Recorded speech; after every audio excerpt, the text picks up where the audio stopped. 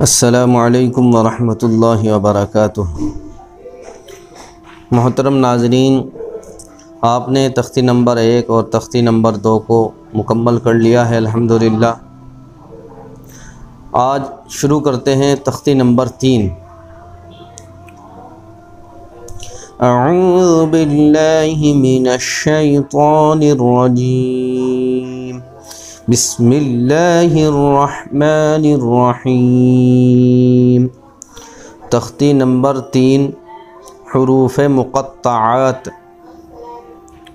تختی نمبر تین، حروف مقطعات۔ الف لام، میم۔ ان کے اوپر یہ جو لگا ہوا ہے، اس کا نام ہوتا ہے مد۔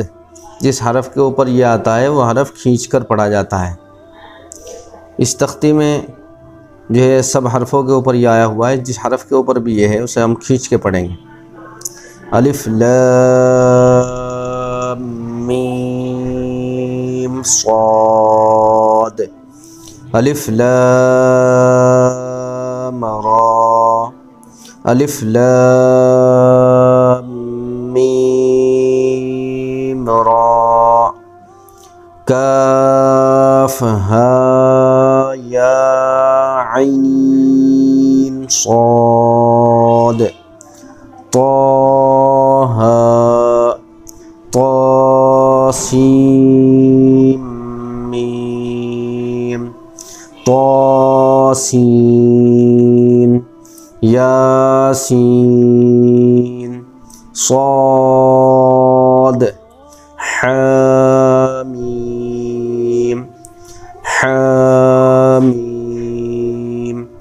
عین سین قاف قاف، نون. یہ ہے تختی نمبر تین۔ اس کے اوپر ہی لکھا ہوا ہے، حروف مقطعات کا طلباء کو حفظ کرا دینا موجب برکت ہے۔ یعنی اس تختی کو ہمیں جو ہے حفظ یاد کر لینا چاہیے۔ حفظ کا مطلب بغیر دیکھے۔ ہمیں اس تختی کو یاد کر لینا چاہیے، اس کا بڑا فائدہ ہے۔ یعنی اس تختی جو، تختی جس کے یاد ہوتی ہے، اس کے گھر میں جو ہے برکت ہوتی ہے۔ اللہ تعالیٰ خیر و برکت نازل فرماتے ہیں۔ یہاں تک بھی اس کی فضیلت میں آیا ہے کہ اگر کوئی حضرات اپنی دکان میں اس کا نقش جو ہے لگا لے، تو دکان کے اندر بھی خیر و برکت رہتی ہے۔ گھر کے اندر لگا لے تو گھر کے اندر بھی خیر و برکت رہتی ہے۔ اور لکھ کر اپنی جیب میں رکھ لے تو جب بھی خیر و برکت ہوتی ہے۔ تو اس کی آپ کوشش کریں کہ آپ اسے جو ہے بغیر دیکھے یاد کر لیں۔ دوسری بات یہ ہے، یہاں لکھا ہوا ہے، یہاں تک پڑھا کر اتنی لیاقت ہو جائے۔ لیاقت کا مطلب اتنی پہچان ہو جائے کہ قرآن مجید کے جس مقام سے پوچھا جائے، طلبہ بلا تعمل بلا تعمل مطلب بغیر سوچے سمجھے یعنی ایک دم بتا دے۔ جیسے عم یتساءلون اس طرح بتائے جیسے اس کے اندر الگ الگ حرف عین، میم، یا، تا، سین، الف، حمزہ، لام، واو، نون۔ یہ اسی وقت آدمی بتا سکتا ہے جبکہ پچھلی تختی تختی نمبر ایک اور تختی نمبر دو اچھی طرح سے اس کے سمجھ میں آ گئی ہو اور اچھی طرح سے اس کے مضبوط پکی یاد بھی ہو۔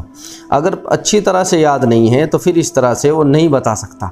اس لیے بات میں بار بار کہتا ہوں کہ پچھلا آپ کو بالکل مضبوط یاد رکھنا ہے اور کوئی بات سمجھ میں نہ آئے تو فوراً کومنٹ باکس میں لکھ کر آپ کو پوچھنا ہے اور جب مضبوط ہو جائے جب ہی آگے قدم بڑھانا ہے۔